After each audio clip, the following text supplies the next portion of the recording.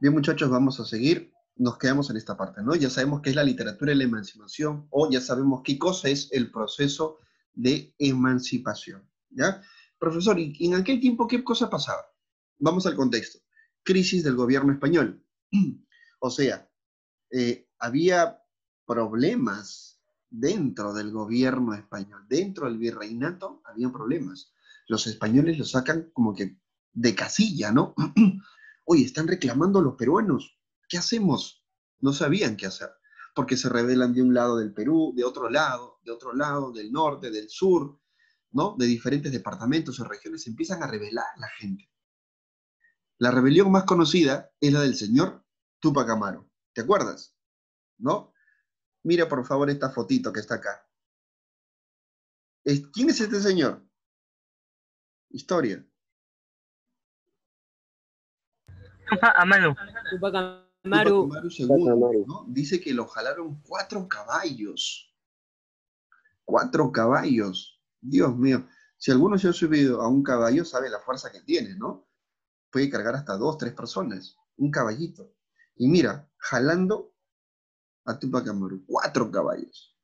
No me imagino estar en esa posición. En fin, temas. El patriotismo. Profesor, ¿qué cosa es patriotismo? Eso que, eh, que, tuvo la Padula al momento de cantar nuestro himno nacional. El señor es italiano, pero vino a jugar por el Perú, es el país de su mamá, y qué manera de cantar, ¿no? Le puso patriotismo, amor a tu patria, amor a tu nación, amor a tu gente, a lo tuyo, a tu cultura. Eso es patriotismo. Pero no, pues tú no, tú, tú todavía no estás listo para esta conversación, tú todavía estás hablando como mexicano. No manches, güey. Oye, esta rolita me gusta. Rolita, tú no debes hablar así, pues hijo. Peruano. Nosotros somos peruchos, ¿no? Del pueblo de Jerusalén. Paisaje, paisaje americano, 1810, 1821, 1816, 1817. Son fechas de independencia de muchos países. ¿Cómo es eso, profe? Es que no solamente el Perú le dijo alto a los españoles, también se lo dijo Argentina, Colombia, México, Guatemala y muchos países de América le dijeron no a los españoles, no a los portugueses, no a los ingleses, no a los franceses. Y empezamos a votar a todos. América para los americanos, ¿no? Paisaje americano, es decir, nosotros, los americanos, porque somos americanos, empezábamos pues a describir el paisaje de, nuestra tierra, que es América, ¿no? Otro tema muy importante, se habla mucho del indio, ¿no? Del indígena. Y de un tema pues eh, que ya es conocido, ¿no? Vamos a hablar de la mujer también, de la mujer, ¿no? Bien, definición, contexto y los temas. Ahora vamos a ver las, características. Dice, aflora la eh, propaganda clandestina por las actividades de los criollos limeños. Es decir, en aquel tiempo, ¿no? Por ejemplo, Yadira. Yadira le quiere decir a la chinita que hoy día se encuentran a las 5 de la tarde en la Plaza San Martín. Obviamente que Yadira no lo va a gritar, ¿no? No lo va a publicar en su Facebook, no lo va a etiquetar porque se entera el Estado y de repente puede hackear su cuenta, ¿no? Es lo que ha pasado con algunas personas. Tiene que ser clandestino, o sea, escondido. ¿Ya? En aquel tiempo pasaba exactamente lo mismo. Si tú querías ir en contra de los españoles, tenías que buscar aliados y los buscabas de forma clandestina. Disculpen, está pasando el heladero y es una bulla. ¿no? Ahorita le voy a echar agüita. Sigamos. Surge el patriotismo peruano con un sentido solidario y unificador de toda su historia. Claro que sí. Por eso se dice que el peruano es, cuando quiere, el peruano es muy solidario. Para prueba, lo que pasó hace una semana, ¿no? En menos de un día, casi medio Perú salió a las calles. Siguiente, se emplea como medio de expresión las odas, canciones y panfletos. Es decir, la literatura también servía para expresar nuestra queja. Profesor, yo voy a hacer un poema. Profesor, yo voy a hacer una canción en contra de los españoles. Es una forma de protesta, ¿no? Así como los, ciclistas salieron a protestar, así como las, este, las personas en sus casas, las que no podían ir a la marcha, salen con su, ¿no?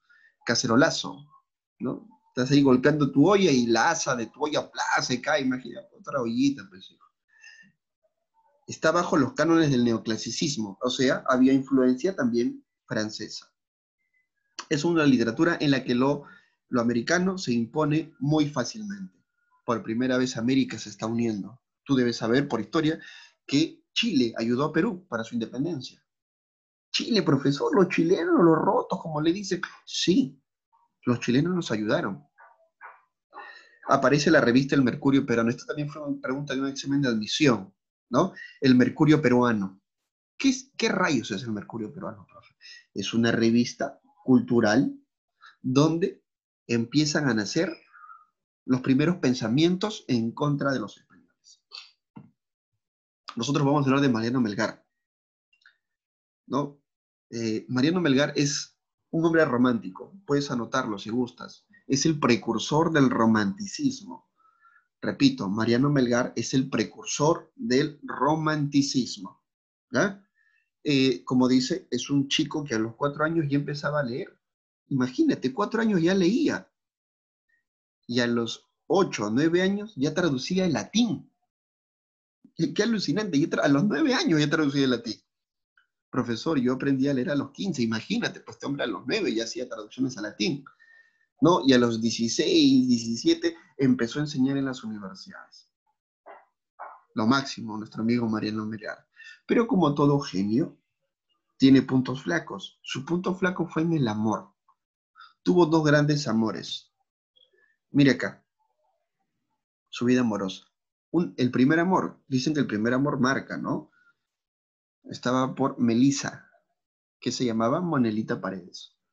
Pero la mujer que le rompe el corazón así, pues que lo hace pedazos, pedazos al pobre, se llama Silvia.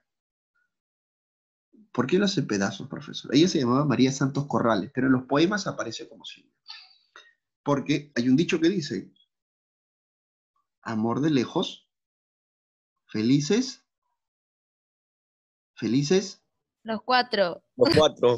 Muy bien, ahí está la gente, ¿no? No vayan a llorar cuando vamos a contar, vamos a hacer el poema eh, El Yarabí 1, ¿ya? Muy bien. Amor de lejos, amor de cuatro, dice, ¿no? Sucede que Silvia María Santos Corrales se había alejado de él. Mariano Melgar, que era de Arequipa, Characato, así le dicen, ¿no? No sé si es despectivo. De Arequipa su familia lo manda a estudiar a Lima y él tiene que separarse de Silvia. Silvia eh, se olvida de él y Mariano Melgar, pues, queda completamente dolido. Y le hace a Silvia yarabíes. ¿Quieres leer qué yarabí, por ejemplo, le dedica a Silvia? Este que está ahí. No sé si lo puedes ver. Dice, todo mi afecto puse en una ingrata y ella inconstante me llegó a olvidar. Si así, si así se trata, un afecto sincero. Amor, amor no quiero, no quiero más amar. Juramos ser yo suyo y ella mía. Yo cumplí y ella no se acordó más mayor, mayor falsía, jamás hallar espero amor, amor no quiero, no quiero más amar. Mi gloria fue en su tiempo firmeza, y hoy su inconstancia vil me hace pensar, fuera, fuera bajeza, que durara mi esmero. Amor, amor no quiero, no quiero más amar. Al fondo del corazón, nuestro amigo Mariano Melgar. Profesor, qué fuerte, hago una etiquetada, eso sí, es doloroso, ¿no? Claro, por eso siempre digo, si las redes sociales hubieran existido unos 300, 400 años atrás, nuestra historia sería otra. De hecho, ¿no? En una etiquetada Mariano Melgar, Silvia ve esto y lo busca, pues, ¿no? ¿Qué te pasa? Un yarabí. ¿Qué es un yarabí, profesor? Esto también viene en un examen de admisión. Un yarabí se parece mucho a un jarawi, y yo te expliqué qué es un jarawi un jarawi, como ves aquí, es un canto quechua de amor doliente. Es un canto triste, es un canto doloroso, pero de amor, el jarawi. Y está cantado en quechua. El yarabí, y atento con esto, ¿eh? el yarabí antes, repito, el yarabí antes de Mariano Melgar era un canto quechua de amor doliente. Te pregunto, el yarabí, el yarabí, ¿estaba en quechua o en castellano? Piensa, por favor. Quechua. Quechua. Quechua. Mm, no podría estar en quechua porque ya estamos, eh, ya llegaron los españoles, ya ha pasado 300 años, ya pasaron más o menos 200 años de la llegada de los españoles. Está en castellano. Mariano Melgar, ¿tú crees que habla quechua? No. Pizarro, ¿tú crees que habla quechua? No. La gente de aquel tiempo ya está hablando castellano. Por tanto, el yarabí, antes de Mariano Melgar, es un canto de amor doliente. Escucha bien, es un canto de amor doliente cantado, valga la redundancia, en castellano. Eso es antes de Mariano Melgar. Cuando llega Melgar, Melgar es una persona culta, es un genio. Mariano Melgar se entera del yarabí y él dice, yo voy a ser yarabíes. Entonces el yarabí común y corriente ya cambia. ¿En qué cambia, profe? Es que su lenguaje se vuelve un lenguaje elevado, un lenguaje pulcro. No, no le creo, profesor. Acá está el mayor ejemplo. Mira el yarabí. ¿Tú ves ahí alguna jerga? ¿Tú ves ahí algún coloquialismo? ¿Una palabra mal construida? No. Todo mi afecto puse en una ingrata. Y en constante me llegó a olvidar. Si así, si así se trata, un afecto sincero. Amor, amor no quiero. No quiero más amar. Es elegante. Es una manera elegante de decirle a una persona, oye, sabes que eres una falsa, eres una mentirosa. Pero Mariano Melgar lo hace con un lenguaje elevado. Por tanto, ¿qué cosa es un yarabí melgariano? Un yarabí melgariano proviene del jarabe. Un yarabí melgariano es un canto de amor doliente, pero con un lenguaje culto, con un castellano prolijo, culto. ¿Ya muchachos? ¿Alguna pregunta hasta ahí? Nada. ¿Seguro? No, profe. A ver, cinco minutitos para acabar. ¿Ya? ¿Estás ocupado? ¿Tienes algo que hacer? No. No, no, profesor, no tengo nada que hacer, profe, no me está vacilando Estoy encerrado en mi cuarto con una reja me dejé mi mamá, profe. A ver, vamos a ver esto, ¿ya? Te voy a compartir esto. Me vas a ayudar cinco minutitos, rapidito, por favor. Con Cunito lo hemos hecho en unos siete minutos. Yo creo que con ustedes lo hacemos en menos tiempo. ¿Ves esas preguntitas? Mm, sí. A ver, me ayudas, por favor, ¿ya? Yadira, tú estabas bien pilas, yo sé que tú lo puedes resolver. Todos, por favor, recuerda que la participación en clase también es con nota. Y cuando alguien participa, yo veo aquí, tú sabes, en el Zoom se ve quién está hablando. ¿Ya? Primera pregunta, la literatura incaica o quechua se caracteriza por ser... La C, la C. La C. La C, La C. Oral colectiva. colectiva. muy La C, bien. profe, la C. La C. Hacemos el 2, ¿sí? Profe, pero ya es muy tarde, no importa, hacemos el 2.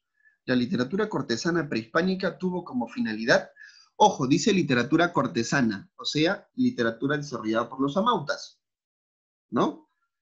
¿Qué cosa buscaban los amautas? A, B, C. D, o E. La E.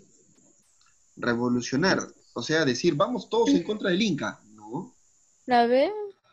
la B, liberal, sean liberales, no crean en el Inca, ¿no? La C, la C. La La C, profe, la C. Didáctica. La C. C. ellos enseñaban, claro, por eso es que tú tienes el- el- los mitos y las leyendas, ¿no? ¿Qué te enseña, por ejemplo, el- la leyenda de Manco Cápac y Mamauyo? Te enseña, pues, cómo nace, ¿no es cierto? La cultura quechua, la C, 12, 3. Los cantos fúnebres en el periodo prehispánico recibían el nombre de... Te lo dije, ya estaba atento a la clase. La E. Ah, No, el La. Paraguay, canto de amor de Ah, la, Muy bien, la. Ayataki. Alguien dijo por ahí la E, Ayataki. Muy bien. Yo, profe. Y arriba, muy bien. Está, está con, la- con el Google al lado, muy bien. Cuatro. ¿Qué tema es ajeno al drama Ollantay? La E. La E. La Eh, La E. generosidad, no, si hay Eh. generosidad. De hecho, el El fatalismo, la generosidad es parte, ¿no? La D, la D. el fatalismo, El fatalismo, muy bien, Pilco, el fatalismo. O sea, eh, lo fatal, la muerte, eso no hay, ¿no? ¿Hay astucia? Sí. por parte del general del Inca y de Ollantay. El poder, claro que sí, lo manifiesta el Inca. El amor constante entre Cusicóyur y Ollantay. 12 años, no se veían y siguen enamorados, imagínate, ¿no? A ti no te llaman y dicen, no, profe, ya lo voy a bloquear. 5. ¿Quién tradujo el drama Ollantay? Esta creo que no la hemos visto. Estas son preguntas, muchachos, que yo resuelvo con los chicos de alguna academia. No vamos a decir el nombre para no hacerle cherry. Pero yo creo que sí, algunas las podemos hacer. ¿Quién tradujo el drama Ollantay?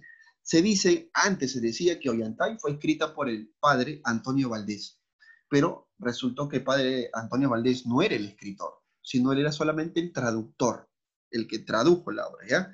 Cinco, la A de Alitas Broster, con bastante 6. A ver, nos vamos a demorar si hacemos todo. Vamos a ir por preguntas por preguntar. Acá está. La pregunta número 8. La A, la A. Ah, Mamá Ogio no es un inca.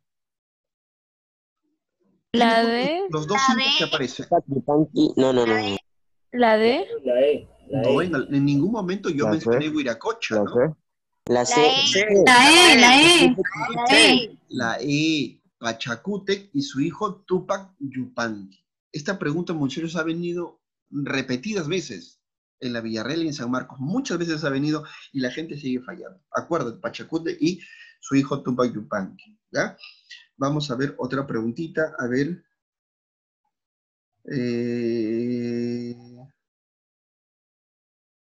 Vamos a ver por aquí. Vamos a ver más preguntas, hay más preguntas. Acá está. Pregunta 22.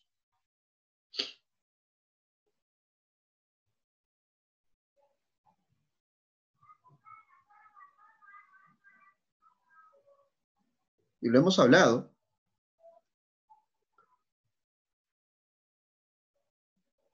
¿Quién es? Es el señor Inca Garcilaso de la Vega. Pero, profe, no está, pues. Es que sucede que Inca Garcilaso de la Vega no es un nombre de pila. Es un chapa, es un seudónimo. ¿Y cuál es su nombre, profe? Gómez Suárez de Figueroa. 22, la letra D de dedo. Eh, vamos a ver, 24. Y vamos a las preguntas que el tema que nos concierne, ¿ya? 24. ¿Por qué se dice que Garcilaso de la Vega fue hijo de la conquista?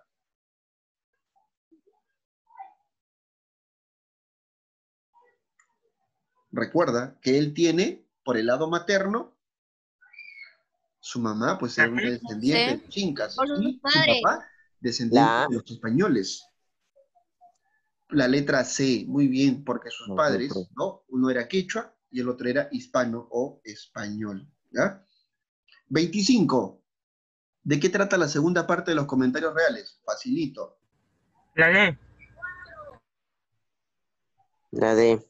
Muy bien, la letra D. Todo lo que tenga que ver solamente con los españoles, vale decir la conquista, ¿no?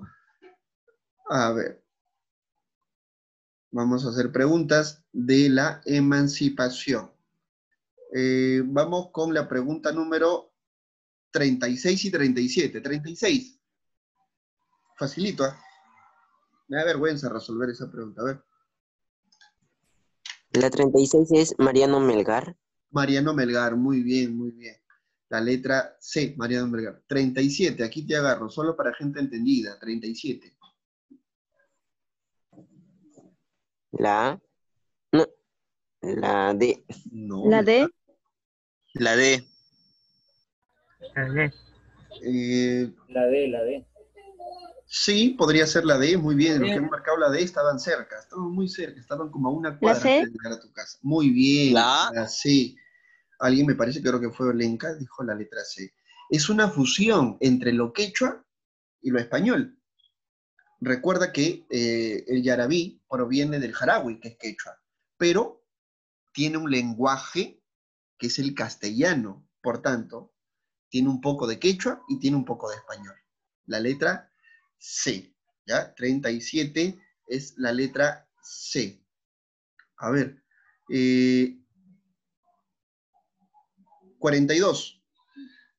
42 y nos vamos a nuestras casas. La. ¿Cuáles Melissa son y los nombres que aparecen en los poemas de Mariano Melgar? En los poemas La La La D. D. Melissa y La D, la D. Silvia. La La D. D. La D. Melissa, La, muy bien, la de D. y Silvia, que son Silvia. las dos mujeres que los hacen sufrir. Sobre todo Silvia, ¿no? Muy bien, muchachos. Entonces, con eso hemos acabado. Si alguien quiere el PDF, me escribe, lo mando mediante el tutor dentro de unas horas, en una tardecita, porque acabo esto y tengo que hacer una clasecita entre las 12 a 1 y media en una academia. Bien, no te olvides, por favor, el día jueves que viene, perdón, el día viernes, el día viernes que viene, tenemos un examen, ¿no? Viene semana de exámenes y vamos a poner ahí una practiquita. Práctica y examen, no te olvides. Y todo es dentro de la hora de literatura. ¿Ya? ¿Alguna pregunta, muchachos, con referente al tema o al curso? ¿Quedó claro? Bueno, espero que haya quedado claro. ¿Ya? Bien, nos vemos en la siguiente clase, muchachos. Cuídense, por favor. Esto todavía no pasa, hay que usar mascarilla. ¿Ya? Hay que usar, y nada de estar saliendo, profesor, me voy a jugar pelota, profesor, me voy a jugar. Nada de eso. Bien, muchachos, nos vemos. Hasta luego, cuídense.